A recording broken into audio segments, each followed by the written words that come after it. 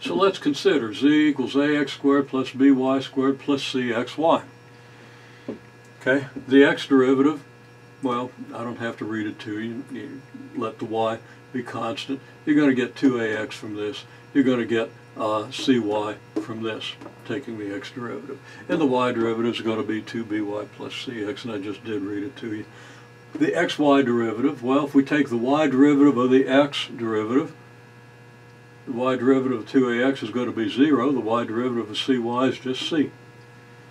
And if we took the y derivative, the x derivative of the y derivative, took the x derivative of this, we would again get c. So the fxy is c, fxx is 2a, fyy is 2b. Okay, well, calculating fxx, we take a derivative with respect to x of this, clearly we get 2a. Derivative with respect to y of this, clearly we get 2b.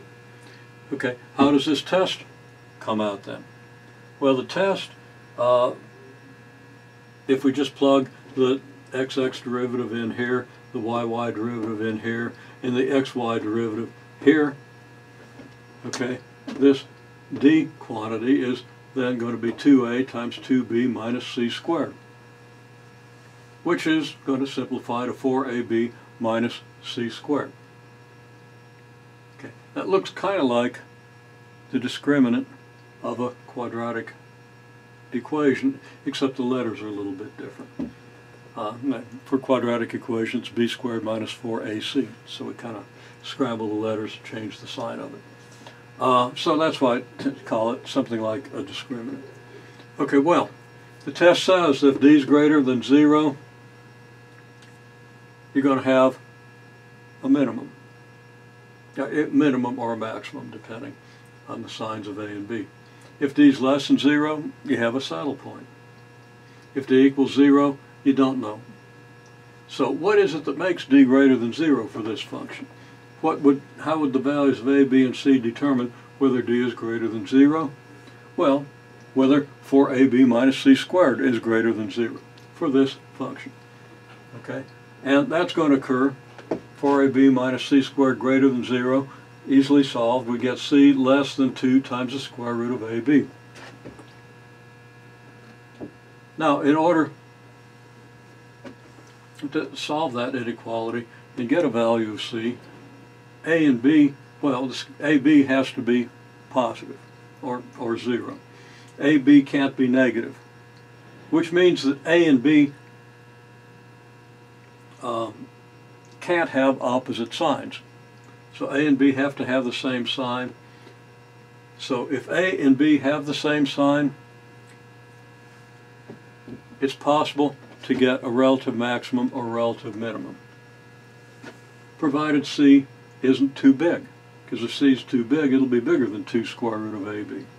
So as long as C isn't too big and A and B have the same sign, your second partial with respect to x is going to have the same sign as your second partial with respect to y.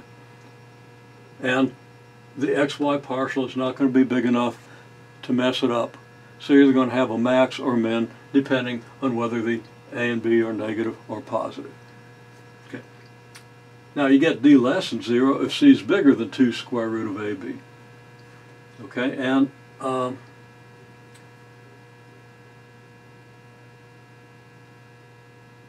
I say that would occur if A, B, A and B have different signs. It, and I didn't include another case. It would also, oh, okay, if, oh, never, never mind, I did say it. See my word or there. I thought I'd written something wrong. Okay, I'm sorry. Uh, so if A and B have different signs, then D is automatically less than zero because AB is going to be negative. And when you subtract C squared, it's going to be even more negative. So if D is less than zero, uh, D is less than 0 if A and B have different signs or if C is too big. If it's bigger than 2 square root of AB, then this negative will overcome the positive of your 4AB even if AB have the same sign. D equals 0 occurs, well A and B would have to have uh, the same sign because obviously if they have different signs you're going to get a negative. And also C squared has to equal 4AB, so C has to equal 2 times the square root of AB. Okay, so if you have a function of this nature, you don't have to memorize this as a formula. We're just using this discriminant to analyze the behavior of the function. If c is too big, you have a saddle point. If a and b have different signs, you have a saddle point. If a and b have the same sign and c isn't too big, then you have either a max or a min.